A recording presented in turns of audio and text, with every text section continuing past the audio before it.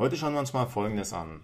Social Media ist ja seit einiger Zeit in aller Munde, aber im B2B möchte ich mal sagen, im B2B-Geschäft ist es teilweise noch sehr ja, rückständig.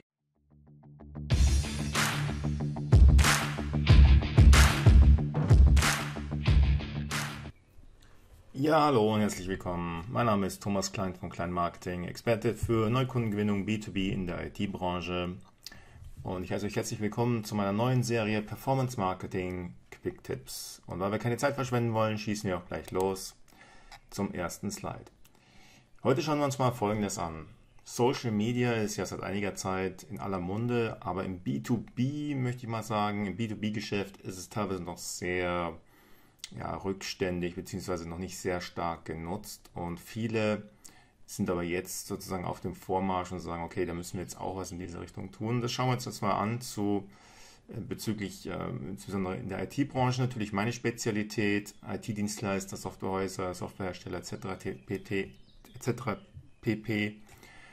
Und schauen uns das mal an und setzen das mal, vergleichen das mal zu alterkömmlichen äh, Marketingmaßnahmen ja, was gibt es jetzt erstmal so im Social Media Bereich? Also es gibt ja da eigentlich gar nicht so viele, die wirklich Wirkung haben. Äh, Facebook, YouTube, ähm, dann LinkedIn, Xing, eher B2B-Plattformen und dann gibt es vielleicht noch ein paar andere, die aber relativ im deutschen Markt relativ äh, unwichtig sind, wie zum Beispiel Twitter oder, oder noch so ein paar andere Sachen.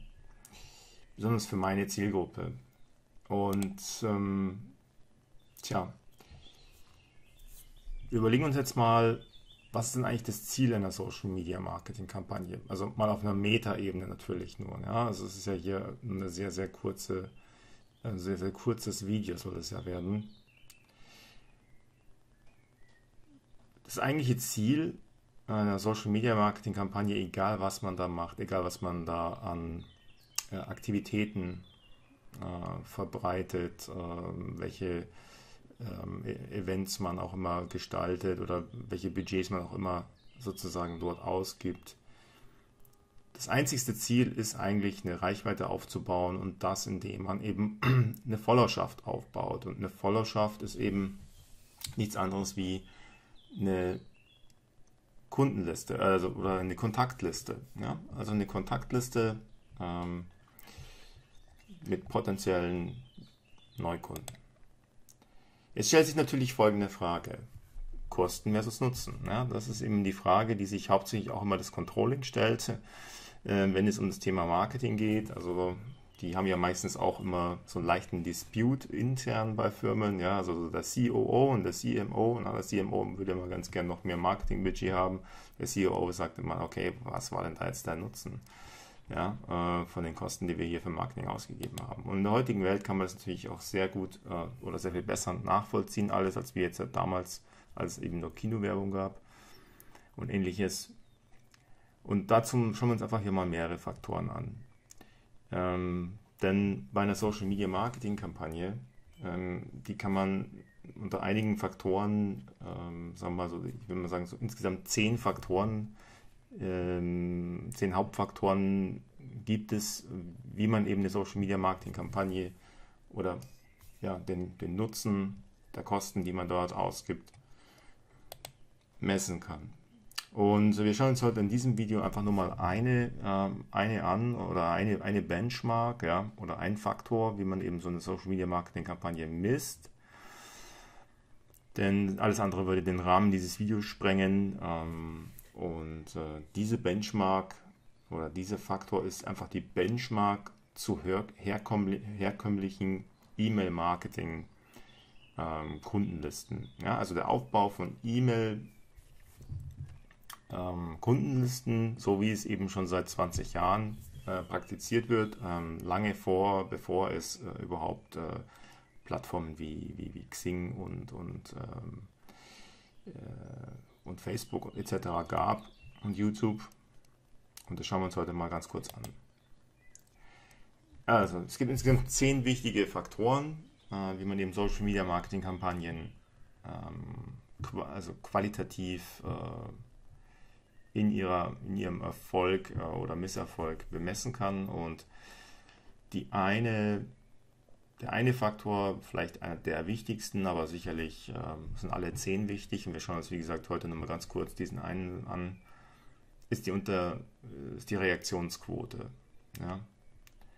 Und hier zeigen eben Untersuchungen, dass nach wie vor, aktueller Stand 2020, eine Mailingliste ja, etwa zwei, 20 Mal, also bei Faktor 20, 20 Mal wirksamer ist als die von Social Media generierten Abonnenten, also die Liste an potenziellen Neukunden bei Social Media. Ja, also das ist eben das Thema. Äh, Social Media hat durchaus seine Berechtigung und funktioniert auch, aber mh, hm, die Qualität der Leads, die man da einfängt, sind halt häufig ähm, nicht so ähm, zielgerecht targetierbar, zumindest mal ähm, im ersten Schritt.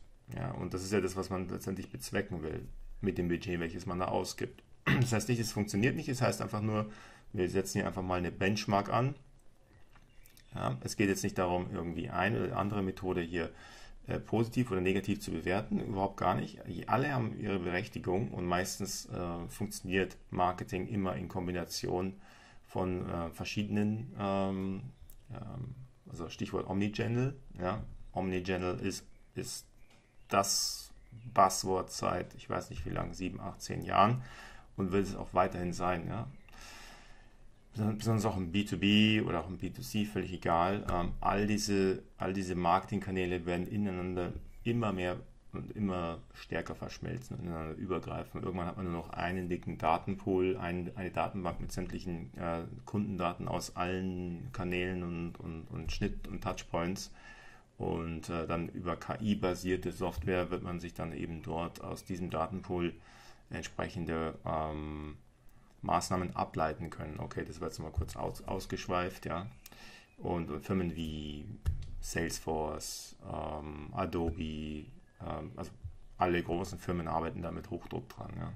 IBM und so weiter. Die arbeiten teilweise an der KI und andere Firmen nutzen das dann in ihren Produkten. So, jetzt wieder zurück zu meinem Slide hier. Ähm, das heißt natürlich nicht, man sollte kein Social Media Marketing betreiben, das habe ich ja gerade eben schon gesagt. Und, aber es heißt halt, dass die Effektivität Status quo äh, einer E-Mail-Kundenliste einfach 20 mal höher ist. Ja? Und von daher lohnt es sich auch unbedingt ja, im hochpreisigen B2B-Segment äh, Telemarketing oder Telefon. Ähm, Telemarketing ist ja teilweise sogar ein Schimpfwort. Ja ähm, weil es einfach auch viele, viele schwarze Schafe gibt. Äh, das bin ich mir sehr bewusst. Und auch viele, es viele Leute da draußen gibt, die einfach Telemarketing äh, übertreiben, ja, nicht zielgerichtet äh, durchführen und einfach Leuten auf die Nerven gehen und so weiter, nicht genau wissen, ja, ähm, wie oft darf ich jemanden anrufen ähm, und äh, wo ist die Grenze und so weiter und so fort. Ja, also da könnte ich jetzt nochmal einen ganzen Kurs, eine ganze Akademie draus machen. Ähm, Dazu komme ich vielleicht später nochmal. Und was ich jetzt hier nochmal sagen möchte, einfach nur dieser einzige Faktor, dass ähm, wenn du eine hoch, also eine gut qualifizierte, gut qualifizierte, vorqualifizierte E-Mail-Kundenliste hast, ja, ähm, das bedeutet, dass der Kunde ja eingewilligt haben muss, ja, dass du ihm E-Mails schicken darfst und all diese Dinge ähm, dann hast du jetzt einen Wirkungsgrad von äh, über 20, also ich würde mal sagen, vielleicht sogar noch mehr als wie äh, von über Faktor 20, als wie wenn du jetzt irgendwie einen Abonnenten hast, äh, den du sozusagen über Social Media Marketing ähm, Maßnahmen generiert hast. Es ist natürlich dann so, dass du letztendlich ähm, vielleicht äh, Social Media Abonnenten vielleicht leichter gewinnst, als wie jetzt äh, qualitativ hochwertige E-Mails. Ja? Und so gleicht sich das am Ende wieder aus. Also ich habe ja nicht gesagt, dass das eine besser oder das andere schlechter ist. Ich sage einfach nur, ähm, dass man mit einer guten E-Mail mehr bezwecken kann, als mit einem sogenannten äh, guten Abonnenten. Und das beim Faktor 20. Das sind ja Untersuchungen, die das sagen. Das, sind ja, das, ja, das bin ja nicht nur ich, der, der das sagt. Ne? Das sind ja Statistiken. Und äh, da kann man sich gerne mal ähm, ja, auch schlau machen im Internet und das soll mal noch gegenchecken. Lade ich dich auch herzlich dazu ein. Ja, ähm, wie wollen wir jetzt verbleiben? Das war's zu diesem Quick-Tipp, zu diesem 10, kurzen 10-minütigen Video. Ich werde jetzt demnächst äh, jeden Sonntag äh, morgen äh, versuchen, so ein Video raus zu, ähm, zu produzieren und raus zu ähm, setzen ins Internet und ähm, einfach mir ein paar Minuten Zeit nehmen, ein paar Gedanken machen. So ein Quick-Tipp zum Thema Performance Marketing und B2B äh, und, und, und all diese Themen. Und ähm, ja, wenn du Bock hast, natürlich ähm, mehr über die weiteren neun Faktoren ähm, herauszufinden, ja, wie man jetzt Social Media Marketing Kampagnen im B2B-Bereich insbesondere bemessen kann, ja, wo du vielleicht auch nicht so hohe Voluminas hast, ja, wie du Qualität erhöhen kannst, wie du ähm, ja, E-Mail-Marketing-Kampagnen ähm, qualitativ hochwertig gestalten kannst, ja, also mit einer höheren Öffnungsrate etc. etc ja, dann vereinbar einfach mit uns, kontaktiere uns einfach, ja, kontaktiere uns einfach, ähm, rufe uns einfach an oder geh auf unsere Webseite hier unten, äh, hast einen Link und äh, äh, oder trag dich ein in unseren Newsletter und dann kommen wir schon irgendwie zusammen. Und ähm, ja, dann freut es mich, dass du ähm, dir kurz Zeit genommen hast für das Video heute. Und dann sehen wir uns vielleicht beim nächsten Quick-Tipp, wenn es wieder heißt Performance Marketing Quick Tips mit Thomas Klein. Bis dahin, bis zum nächsten Sonntag. Bye bye.